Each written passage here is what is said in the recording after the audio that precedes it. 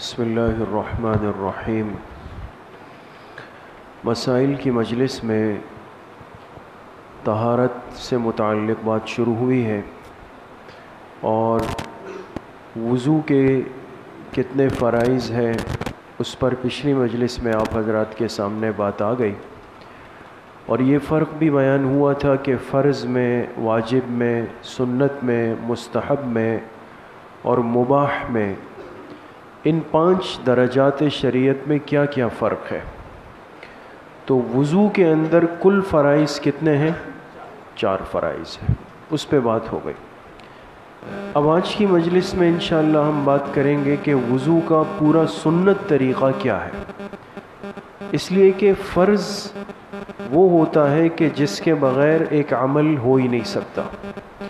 लेकिन एक मुसलमान को हुक्म यह है, उससे तकाजा ये है कि वो कोई भी अमल करे तो सिर्फ़ फ़र्ज़ तक महदूद नहीं रहेगा, बल्कि वो कोशिश करेगा कि उस अमल को पूरा सुन्नत तरीक़े पे अदा कर ले। तो वज़ू का सुन्नत तरीक़ा क्या है, मसनून तरीक़ा क्या है? एक मुसलमान को मसनून वज़ू अगर करना है और पूरी ज़िंदगी करना चाहिए तो उसका आसान तरीक़ा क्या है? कोई मुश्किल नहीं। हम तकरीबन करते भी इन सारी बातों को हैं, लेकिन बाज़ बातें जहन में होती नहीं। इसलिए सुन्नत की उस फजीलत से हम महरूम हो जाते तो इसलिए आज की मजलिस में इन वज़ू का मुकम्मल सुन्नत तरीक़ा आप हजरात के सामने अर्ज़ करना है। अल्लाह हम सब के लिए अमल करना आसान फरमा दे। फरमाते हैं कि वज़ू का सुन्नत तरीक़ा ये है कि सबसे पहले वज़ू करने वाले को चाहिए कि वो तहारत की नीयत कर ले। देखें, वज़ू की सबसे पहली सुन्नत वो नीयत है, जिसकी तरफ़ बहुत कम जहन जाता है। नीयत। अगर नीयत नहीं की और वज़ू किया, वज़ू हो जाएगा। नमाज़ भी इंसान पढ़ सकता है, लेकिन वज़ू के फ़ज़ाइल हासिल नहीं होंगे। इसलिए वज़ू की नीयत कर ले। अब नीयत क्या है? इसमें कभी बोझ न लें। बहुत सारे अहबाब परेशान होते जी, मैं नीयत के क्या अल्फाज बोलूँ? क्या करूँ? हमारा दिन इतना आसान है कि नीयत नाम ही किसका है? दिल के इरादे का। आप दिल में नीयत इरादा कर ले कि मैं वज़ू के लिए बैठ रहा हूँ तो सुन्नत हो गई। बास फ़ुकाहा ने लिखा, अगर इंसान ये दिल में सोच ले या ज़बान से बोल ले कि मैं तहारत यानि पाकी हासिल कर रहा हूँ। नीयत हो गई। मुश्किल तो नहीं। तो वज़ू की पहली सुन्नत यहाँ से शुरू होगी कि सबसे पहले इंसान तहारत की नीयत कर ले। जब नीयत कर ले, उसके बाद दूसरी सुन्नत यह है कि कोशिश करे कि वज़ू करते वक्त किबला रुख होके बैठ जाए। अब ये सूरत हमारे यहाँ थोड़ा सा मुश्किल तो है, इसलिए कि या तो हमने वज़ू घर में करना है या फिर मस्जिद के वज़ू खाने में करना है। अब या तो घर के नल और बेसन इस तरतीब पर लगे हों कि इंसान जब वज़ू करे तो किबला रुख हो जाए तो भी मसला हल। या मस्जिद के वज़ू खाने इस तरफ़ हो कि इंसान जब बैठे तो उसका रुख किबले की तरफ़ आ रहा हो तो भी सही है। लेकिन ये तो हमारे इख्तियार में नहीं। कभी होगा, कभी नहीं होगा। बहुत सारी मस्जिदों में होता भी है, बहुत सारी मस्जिदों में नहीं भी होता।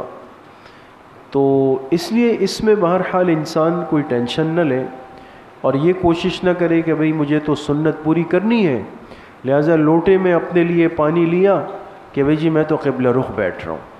तो सुन्नत हुई नहीं हुई, लेकिन मस्जिद में गंदगी बहुत ज़्यादा कर देगा। तो उससे एहतियात करनी चाहिए तो जहाँ सहूलत से मुमकिन हो इंसान इस सुन्नत को अदा कर ले तो कबल रुख बैठने की कोशिश कर ले। इसके बाद किसी ऊँची जगह बैठे। ऊँची जगह हमारे यहाँ तो मसाजिद में अल्हम्दुलिल्लाह बैठने के लिए जो जगह बना दी जाती है, इंसान उस पर ऊपर बैठ जाता है। यही ऊंचाई मुराद है यहाँ पर। लिहाजा मस्जिद के तकरीबन जो हमारे वज़ू होते हैं जिसमें इंसान के बैठने का नज़म है, इंसान उस पर अपनी मकाद रख देता है, यही सुन्नत तरीक़ा है। ऊँचा ऊपर इंसान बैठ जाता है। इसके बाद जब वज़ू शुरू करे तो सबसे पहले बिस्मिल्लाहिर्रहमानिर्रहीम पढ़ लें। ये भी सुन्नत है। वज़ू का आगाज़ बिस्मिल्लाह से पढ़ लें। बिस्मिल्लाहिर्रहमानिर्रहीम पढ़ लें। बाज़ रिवायात में ये भी आता है कि आप सलाम ने सिर्फ़ बिस्मिल्लाह ही यहाँ तक फरमाया और वज़ू शुरू कर दिया। इसलिए फ़ुक़ा ने लिखा है कि इंसान अगर सिर्फ़ बिस्मिल्लाह पढ़ के वज़ू शुरू करे तो भी सुन्नत पूरी हो जाएगी। लेकिन अफजल ये है कि पूरा पढ़ लें बिस्मिल्लाहिर्रहमानिर्रहीम। इसके बाद फिर तीनों हाथों को गट्टों तक धो ले। गट्टे, ये जो जोड़ है ना, कलाई और हाथ का, ये जो दो हड्डियाँ हैं तो इस समय दोनों हाथों को तीन दफ़ा धो ले। सुन्नत है। फिर इसके बाद तीन दफ़ा कुल्ली कर ले। कुल्ली करना जानते हैं ना कि सीधे हाथ के चुल्लू में पानी ले ले और उसको मुँह में डाल दे और मुँह में अच्छी तरह पानी को घुमा ले। फिर उस पानी को गिरा दे। फिर दूसरी दफ़ा ऐसा कर ले। फिर तीसरी दफ़ा ऐसा कर ले। तो तीन दफ़ा कुल्ली कर ले और फिर मिसवाक कर ले। मिसवाक, जो वज़ू की अफजल तरीन सुन्नत है। और हर आकिल बालिग मुसलमान मर्द औरत को इसका अहतमाम करना चाहिए। और इसकी फजीलत से हर मुसलमान वाकिफ़ है और होना चाहिए कि जो नमाज़ ऐसे वज़ू से पढ़ी जाए जिसमें मिसवाक की गई हो, उस नमाज़ की फजीलत बाकी नमाज़ों पर कितने गुना ज़्यादा है?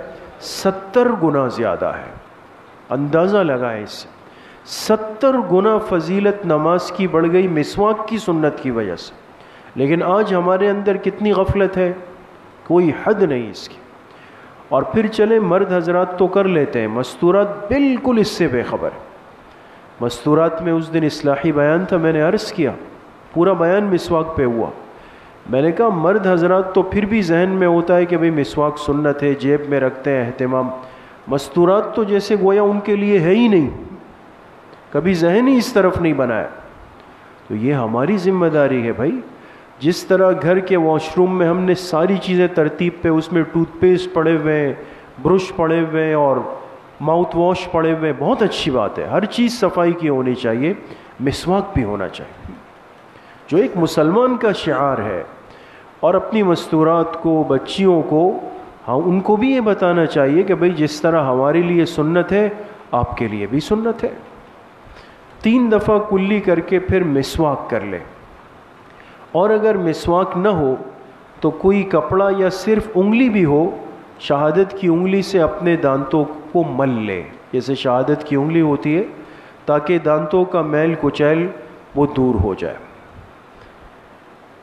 अच्छा उसके बाद तीन दफ़ा नाक में पानी डाले। कितनी दफ़ा? तीन दफ़ा। नाक के दो नथने हैं ना तो सीधे हाथ के चुल्लू में पानी ले और नाक में पानी डाले। कोशिश करे कि सांस के साथ पानी को ऊपर की तरफ़ चढ़ाए, खींचे और बाएँ हाथ की छोटी उंगली से नाक के दोनों नथनों को साफ़ करें। नाक की सफ़ाई सीधे हाथ से नहीं होगी, उल्टे हाथ से। और उल्टे हाथ की भी कौन सी उंगली होगी? ये छंगली जिसको कहते हैं। इस छंगली से दोनों नथनों को अच्छी तरह साफ़ कर ले और नाक की नरम हड्डी तक पानी पहुँच जाए, कोशिश इस तरह हो। लेकिन अगर किसी का रोज़ा है, चाहे वो फ़र्ज़ रोज़ा है या वाजिब या नफली तो वो नाक में पानी नरम हड्डी तक न ले जाए, वरना तो रोज़ा फासिद हो जाएगा। जब नाक को अच्छे तरीके से साफ़ कर ले तो उसके बाद पूरे चेहरे को तीन मरतबा धो ले। एक मरतबा धोना तो फ़र्ज़ था लेकिन सुन्नत यह है कि वज़ू करने वाला चेहरे को तीन मरतबा धो ले और चेहरे के अंदर सर की सर के बालों से लेकर ठोड़ी के नीचे तक, एक कान की लौ से दूसरे कान की लौ तक तीन दफ़ा चेहरे को अच्छे तरीके से धो ले। यानी दोनों हाथों का चुल्लू बनाए और पूरे चेहरे पर पानी को डाल दें। और अर्ज़ किया था कि ये जो ये जो जगह है कानों और बाल के दरमियान का जो एक फ़ासला है, बज़ दफ़ा खुश्क रह जाता है। तो उंगली अच्छे तरीके से उसमें फेर लें। अगर किसी की दाढ़ी है और दाढ़ी भी जो है वो लहिया कस्सा है, यानी घनी दाढ़ी है, एक होती है खफीफ दाढ़ी, यानी ऐसी दाढ़ी जिससे चेहरे की जिल नज़र आ रही है नीचे से।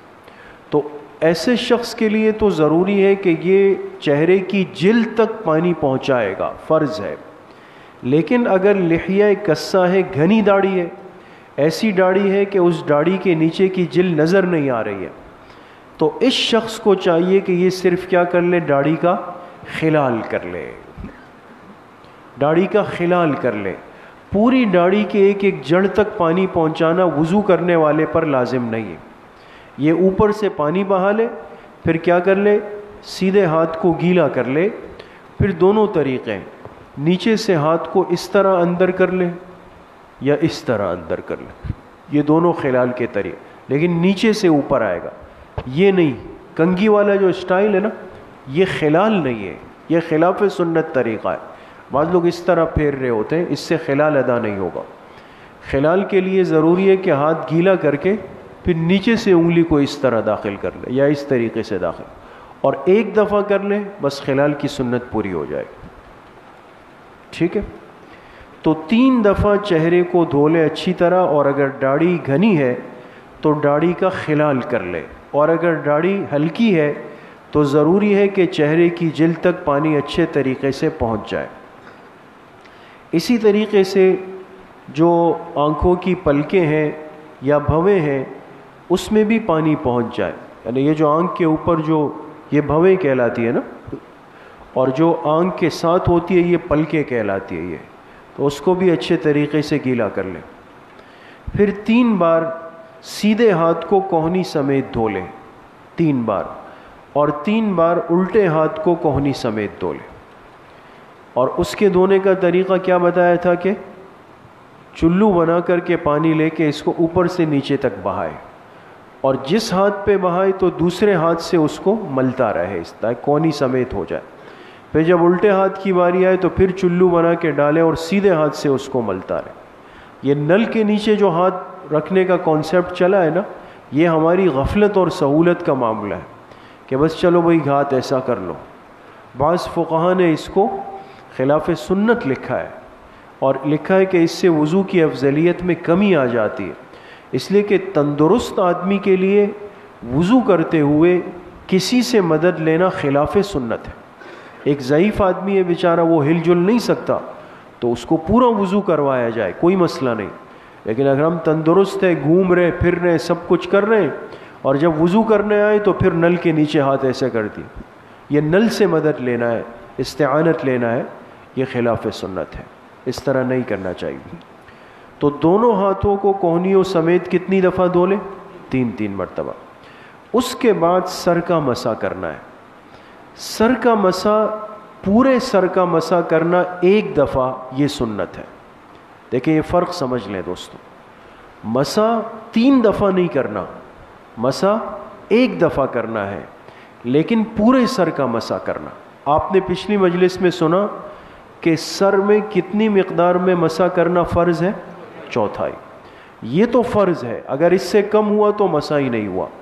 लेकिन सुन्नत तरीक़ा ये है कि पूरे सर के बालों को गीला कर दिया जाए। और उसका तरीक़ा ये कि आप दोनों हाथों को पानी से ताज़ा कर लें, गीला कर लें। और फिर ये जो तीन उंगलियाँ हैं, ये वाली, इस, इसको लेकर के पीछे चले जाए, पीछे के बालों तक। ये तीन इस्तेमाल हो गई, ठीक है? फिर ये जो दोनों हाथों की हथेलियाँ हैं इसको पीछे से साइड पर ले आए।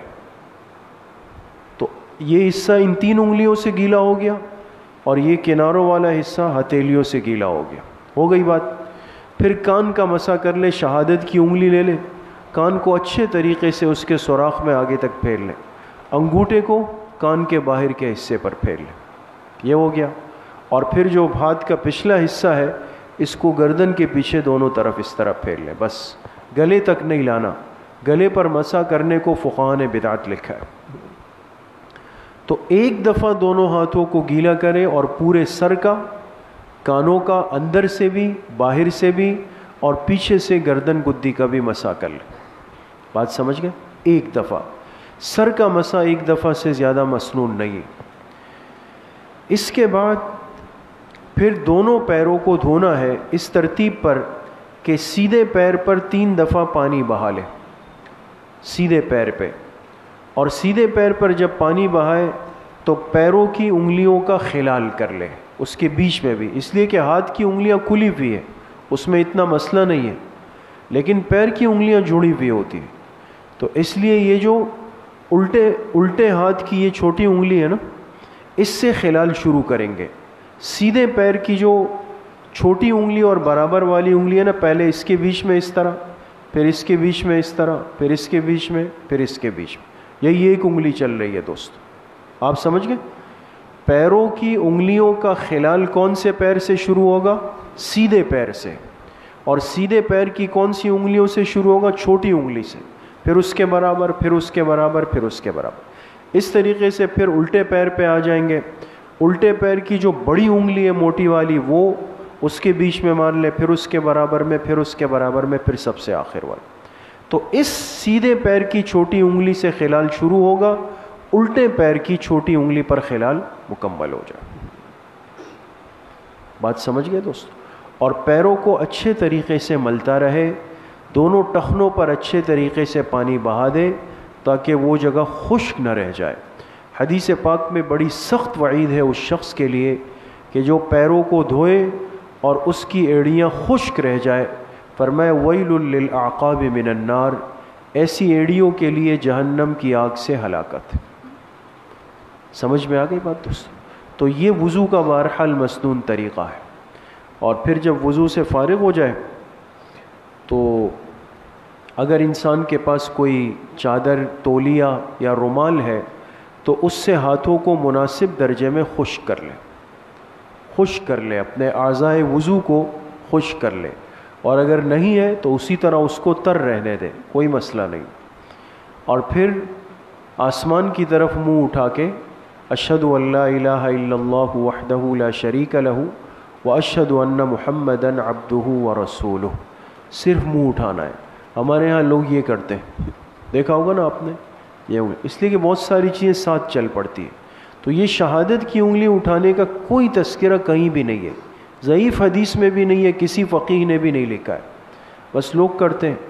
तो सुन्नत यह है कि सिर्फ़ आसमान की तरफ़ चेहरा उठाया जाएगा। ये हदीस से साबित है।